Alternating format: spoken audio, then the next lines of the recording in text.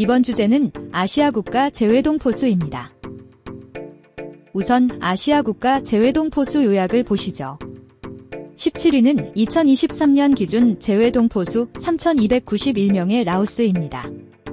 16위는 5,392명의 대만, 15위는 7,800명의 캄보디아, 14위는 9,227명의 아랍에미리트, 13위는 11,360명의 인도, 12위는 13,152명의 말레이시아, 11위는 16,604명의 홍콩, 10위는 2229명의 키르기스스탄, 9위는 2353명의 태국, 8위는 21,203명의 싱가포르, 7위는 25,153명의 인도네시아, 6위는 34,148명의 필리핀, 5위는 121,130명의 카자흐스탄, 4위는 17만 4,490명의 우즈베키스탄, 3위는 17만 8,122명의 베트남, 2위는 80만 2,118명의 일본, 1위는 210만 9,727명의 중국입니다.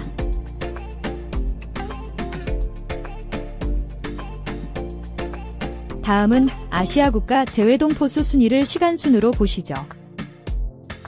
중국과 일본이 각각 1위, 2위를 차지하며 절대적 우위를 보입니다.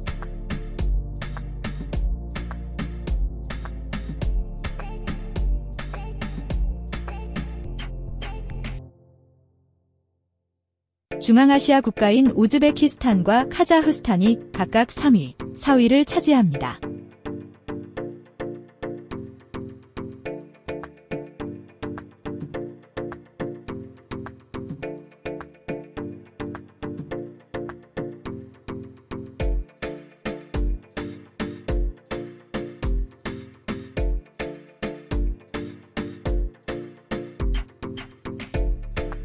2023년 베트남은 우즈베키스탄을 제치고 아시아 3위에 오릅니다.